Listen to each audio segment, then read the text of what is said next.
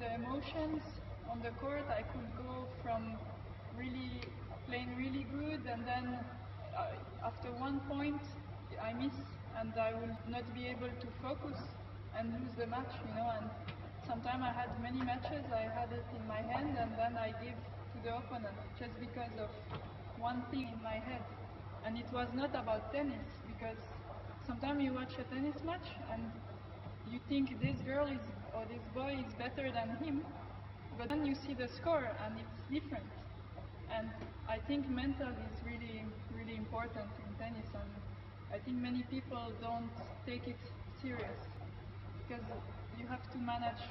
Most of the time, when you're on the court, it's the head because you you play the the rally for maybe a few shots, but then after the rally, what you do?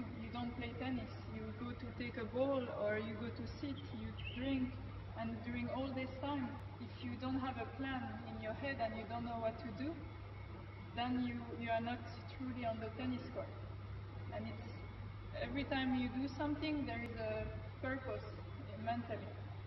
And um, that's why I thought, I think I don't have this enough because I arrive at a level, um, maybe 300, 250, 300, and I could not really go further. And I thought, I think the tennis skills is okay, but I think I need something more to work on. And fitness and tennis I was working on, so it was the mental. And then I contact uh, Stefano and uh, finally, and then uh, then I thought I spoke a bit with him and see how he works